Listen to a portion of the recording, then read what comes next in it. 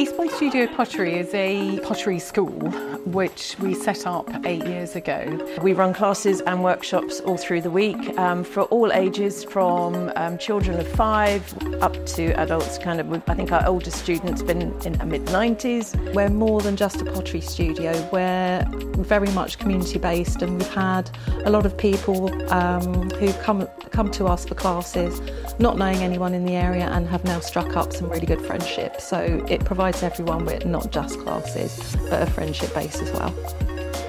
Right from the beginning, knowing where we were in Eastbourne, in the Devonshire ward, and the different groups that were operating in this area, we've always had a really central part of our ethos has been to work with those local community groups. We have um, the MenCap group who come in on a Friday. We have two tutors who go out to the Sanctuary Cafe. Recent projects are with the NHS and bringing people in just to give them somewhere to relax and meet other people. A lot of it is about confidence building and, uh, and welfare.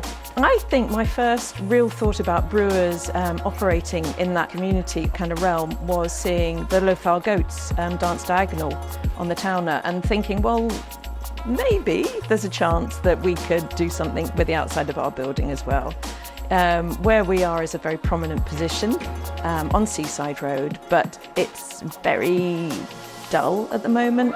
And we just wanted to make it look as creative on the outside as it is on the inside. And I think so many people that come through the door don't realise we're here because the building doesn't reflect that. We've asked for lots of um, brightly coloured paints to brighten up the outside of our building, and Brewers have kindly offered the products for us.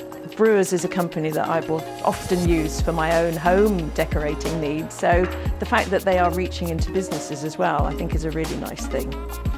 I think what's lovely about this place, we started in 2017 in a very small way, just Karen, Jenny, myself, and running one or two courses just to be able to afford renting a studio as um, artists. But during the last seven years, we've just grown really gradually, really organically to create this really incredibly vibrant community now where we have over 160 students coming through every week. We've now got 27 open access members um, who come every week to do their own work. So we've just built up this community of makers, artists, creatives, and that really has an impact on the local area as well. And I think it's that's, you know, quite an achievement. We feel quite proud.